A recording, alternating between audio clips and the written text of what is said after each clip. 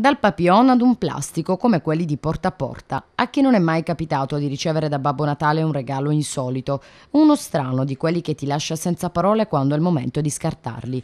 Un'idea volevamo farcela anche noi, andando in giro proprio nei giorni più intensi di spese. E sentite cosa hanno trovato sotto l'albero i beresi. Dei colleghi che mi hanno regalato un plastico di un'architettura progettata da loro. Eh, perché è stato strano?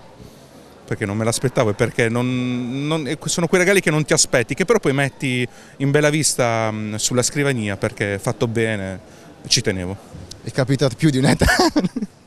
cioè, raccontami. Uh, vabbè, non posso...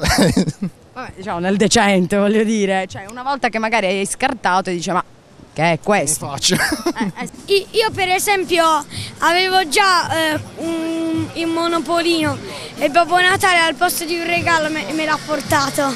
Forse una cravatta. Che, non ha, che non ha tanto gradito. No, no. Il primo commento qual è stato? Magari non facendolo sentire alla persona. Ah, il primo, eh, il primo commento non si può dire. Beh, che non mi aspettavo sì, sicuramente. Cioè?